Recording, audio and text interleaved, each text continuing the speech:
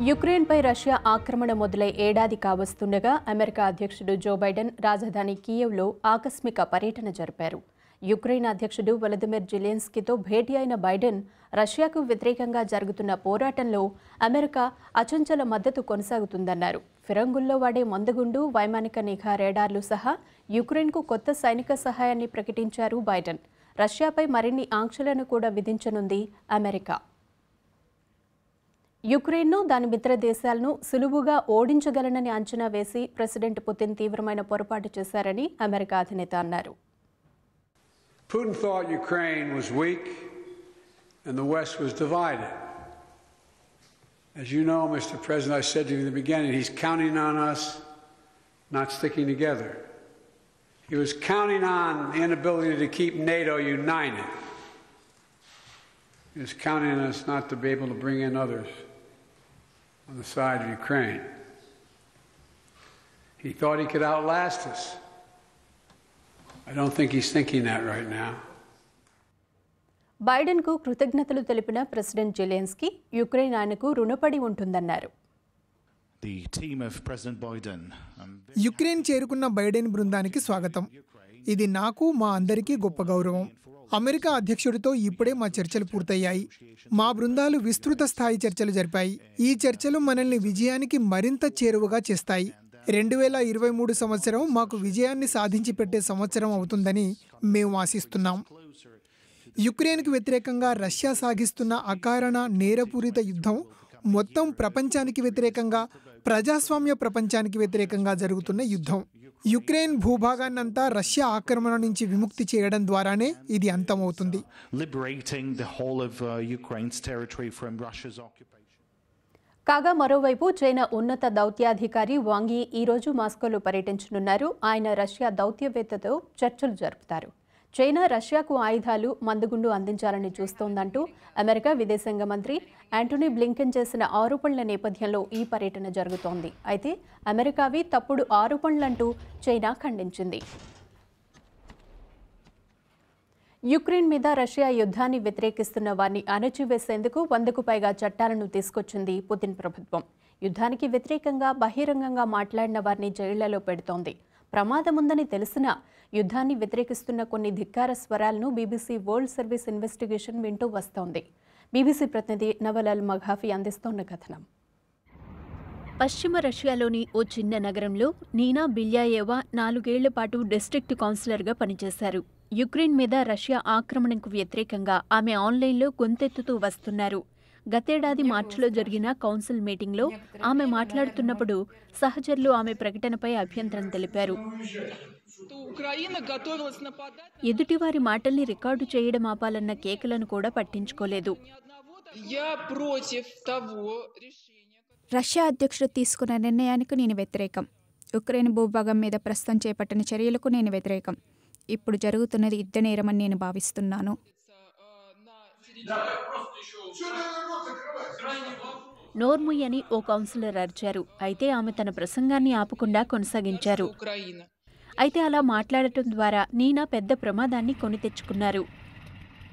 Ukraine మీద జరుగుతున్న దాన్ని యుద్ధంగా పిలవడం కానీ దానికి వ్యతిరేకంగా ప్రదర్శన చేయటం కానీ నేరం. అయితే ఈ నేరం చేసింది ఆమె ఒక్కరే కాదు. మేమందరం ఒక చోటికి చేరాం. మేము మౌనంగా ఉండలేమని ఉండకూడదని గుర్తించాం.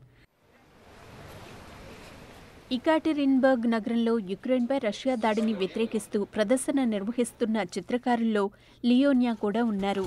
యుద్ధంలో మరణించిన రష్యన్ సైనికుల చిత్రాలను వీళ్ళు పట్టణమంతటా అంటించారు. రష్యన్ చట్టాల ప్రకారం ఇలా చేయడం నేరం. దీంతో పోలీసులు లియోన్యాను అదుపులోకి తీసుకున్నారు. వాళ్ళు నన్ను పోలీస్ స్టేషన్కి తీసుకెళ్ళారు. నాకు లాయర్ కావాలని నేను అడిగాను. అలా అడిగినందుకు వాళ్ళు నా మొహం మీద గుద్దారు.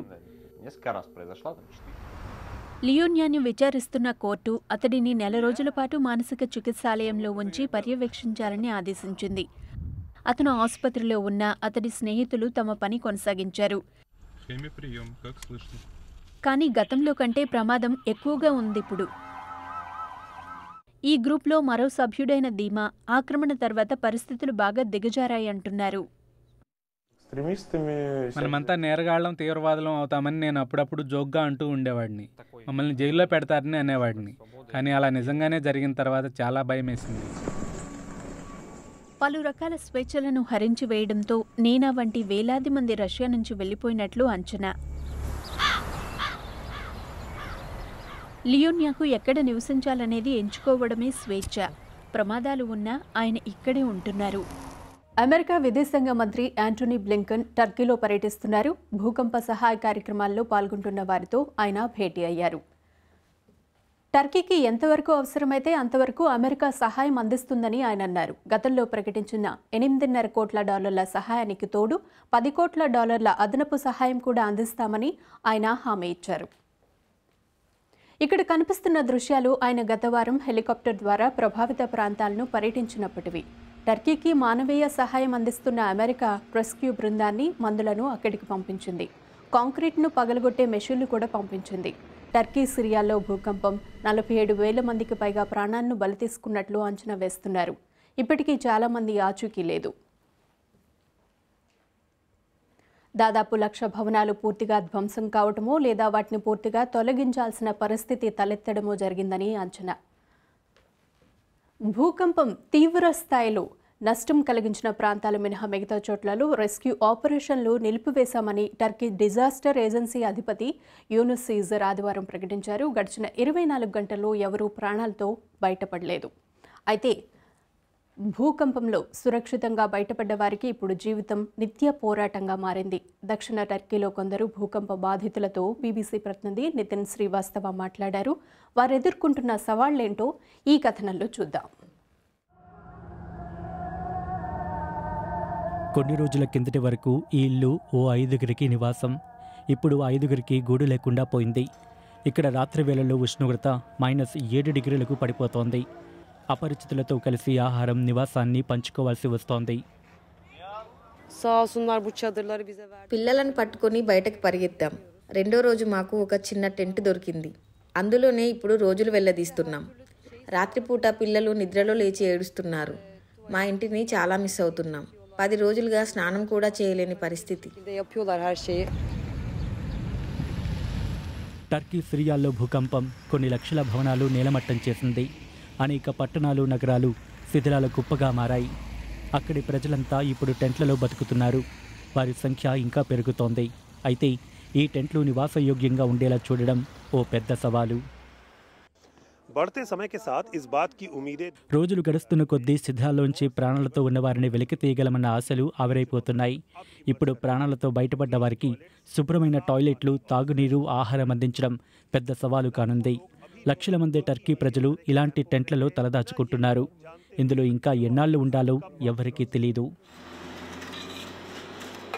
టర్కీలోని భూకంప ప్రభావిత ప్రాంతాల్లో కమ్యూనిటీ కిచెన్లు ప్రారంభించారు ప్రజలకు ఇక్కడ భోజనం పెడతారు కొన్ని చోట్ల రేషన్ కూడా అందిస్తున్నారు. అనేక విదేశీ సంస్థలు సహాయ కార్యక్రమాలు చేపట్టాయి. ఈ స్థాయిలో సంభవించిన భారీ విపత్తు అనేక రకాల చిక్కు సమస్యలను తెచ్చిపెడుతోంది. Uh, సిటీ మొత్తం శిథిలమైపోయిందని కలరా వ్యాపించిందని అలెప్పోకు చెందిన కొందరు సహోద్యోగులు చెప్పారు.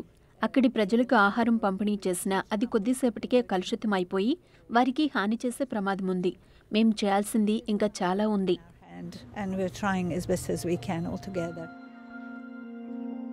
దక్షిణ టర్కీలో ఉండే నలభై మూడేళ్ళ సహిన్కి సమాజంలో మంచి పేరుంది.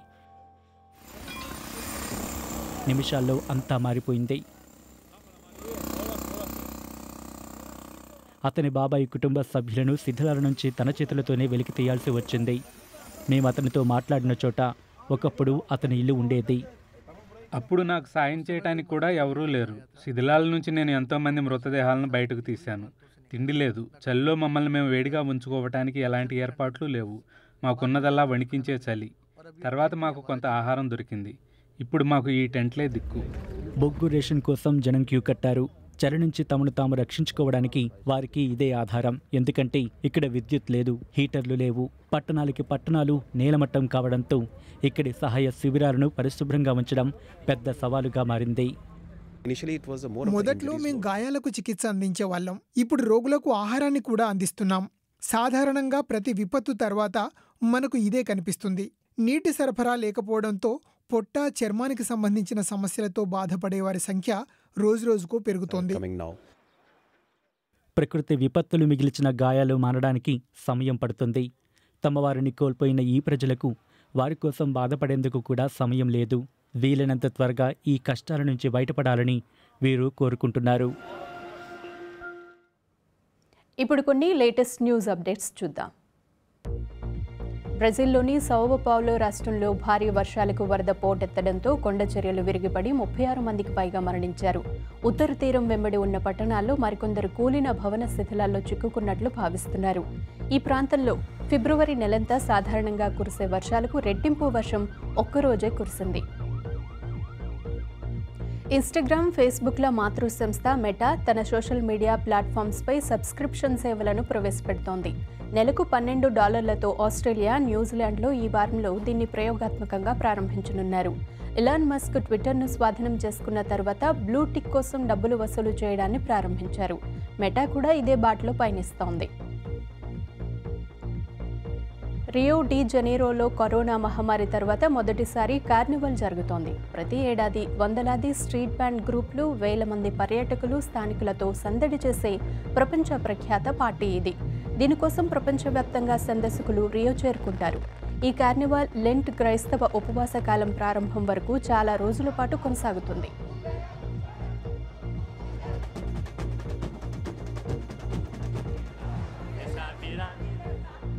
తమిళనాడులోని మదురైకు చెందిన వెరోనికాది మధ్యతరగతి కుటుంబం. భర్త వదిలేసిన తర్వాత ఆమెకు కష్టాలు ప్రారంభమయ్యాయి. కొన్ని రోజుల తర్వాత తండ్రి కూడా మరణించడంతో కుంగిపోయారు ఆమె. కొంతకాలం తర్వాత కష్టాల నుంచి తేరుకుని బాడీ బిల్డర్గా ఎదిగారు. తోటివారికి స్ఫూర్తిగా నిలిచారు. ఈ ప్రయాణంలో ఆమె ఎదుర్కొన్న సవాళ్ళేంటి బీబీసీ ప్రతినిధి ప్రభురావు ఆనందన్ అందిస్తున్న ఈ కథనంలో చూద్దాం.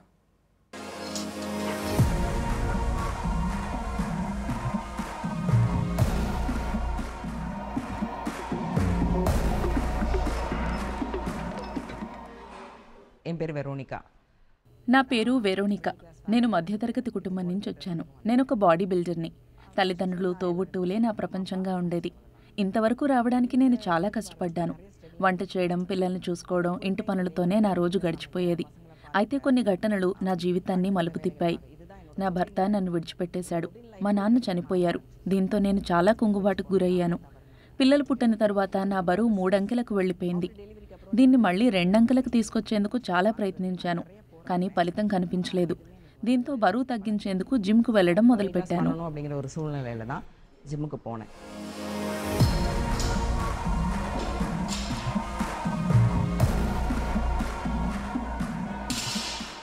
ஜிம்முக்கு போன்ற போறேன் அப்படின்னு சொன்னப்போ நிறைய எதிர்ப்புகள் మొదట నేను జిమ్కి వెళ్తానని చెప్పినప్పుడు చాలా వ్యతిరేకత ఎదురైంది మహిళలు జిమ్కి వెళ్ళకూడదని అన్నారు అక్కడ మహిళలు చిన్న చిన్న బట్టలు వేసుకోవాల్సి ఉంటుందని చెప్పారు.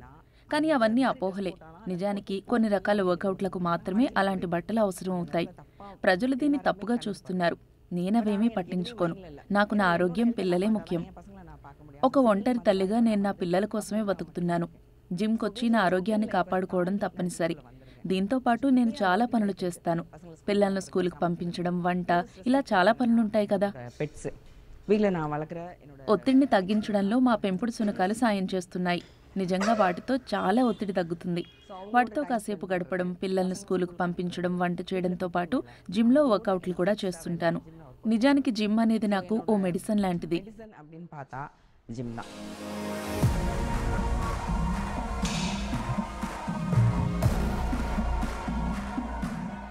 ஸோ இந்த ஜிம்முக்குள்ளே நான் வந்ததுக்கு அப்புறம் வெயிட் லாஸை జిమ్ చేయడం మొదలుపెట్టిన తర్వాత నా బరువు తగ్గింది. ఆరోగ్యంగానూ ఉన్నాను. అందుకే రోజు జిమ్ చేస్తున్నాను. అయితే జిమ్కు వెళుతున్నానని కొందరు నన్ను దూరం పెడుతున్నారు. మగాడిలా ఎందుకు జిమ్ చేస్తున్నావు? ఇది నీకు అవసరమా అని అంటుంటారు. కొందరు స్నేహితులు నాతో మాట్లాడడం కూడా మానేశారు. జిమ్కు వెళ్ళే ఆవిడతో మీకు పనేంటని వారి భర్తలు వాళ్ళతో అంటున్నారట. అలా చాలామంది నన్ను దూరం పెట్టారు. కానీ నా శరీరాన్ని కాపాడుకోవడం నా బాధ్యత. నేను జిమ్కి వెళుతూనే ఉంటాను. ஸோ அதனால் திருப்பி ஃபர்தராக கண்டினியூவாக போயிட்டு இருந்தேன்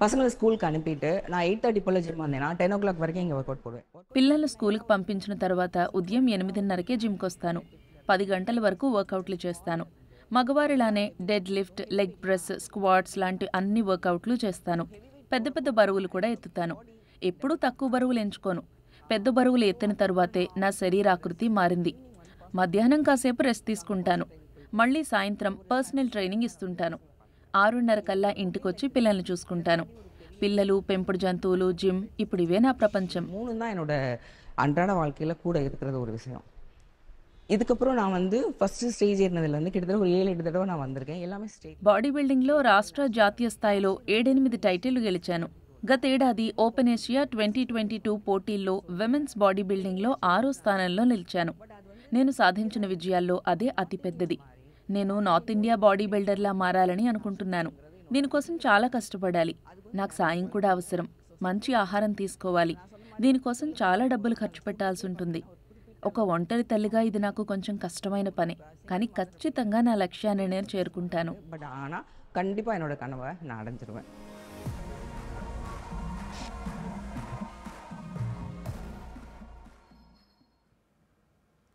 ఇంగ్లండ్లోని లింకన్ షైర్కు చెందిన శామ్ బెర్లీ అనే పదేళ్ళ పిల్లాడికి అసాధారణ హెయిర్ సిండ్రోమ్ ఉంది. అంటే జుట్టు ఉన్నది ఉన్నట్టుగా నిలిచిపోవడం దువ్వడానికి సరిగా వీలు కాకపోవడం దీని లక్షణం. అయితే ఆ పిల్లాడు దీంతో కుంగిపోలేదు. దానినే తన ప్రత్యేకతగా మలుచుకున్నాడు. ప్రపంచవ్యాప్తంగా కేవలం కొన్ని వందల్లోనే ఉన్న ఈ కేసులకు సంబంధించి అవగాహన పెంచాలని భావించాడు శామ్. మరిన్ని విశేషాలు ఈ కథనంలో చూద్దాం. హాయ్ నేను శామ్. నా వయస్సు పదేళ్ళు. నేను నా తల వెంట్రుకల గురించి మాట్లాడాలనుకుంటున్నాను. అసాధారణ హెయిర్ సిండ్రోమ్ పై అవగాహన కల్పించాలని అనుకుంటున్నాను. ఎందుకంటే చాలా మంది నా దగ్గరకు వచ్చి నువ్వు తలకి ఏం రాసుకున్నావు? రంగమైన వేసుకున్నావా? నీ జుట్టుకి ఏం చేస్తావు అని అడిగేవాళ్ళు. ప్లగ్లో వేలు పెడితే షాక్ తగిలినట్లుగా నా జుట్టు కనిపిస్తుంది. బహుశా గతేడాది నుంచి ఈ అవగాహన కార్యక్రమాన్ని చేపట్టాలనుకుంటున్నాడు. వాడి మీద కామెంట్స్ వినిపించినప్పుడల్లా దీనిపై మరింత అవగాహన పెంచాలని అంటూ ఉండేవాడు. వీడిని చూస్తుంటే నాకు చాలా గర్వంగా అనిపిస్తుంది. I think he's really special. he's a really nice brother to have uncomable hair syndrome. మాకు తన గురించి తెలిసిన కొత్తలో మా అత్తయ్య నాకు మెసేజ్ చేశారు. బీబీసీ వన్లో కార్యక్రమాన్ని చూడమన్నారు.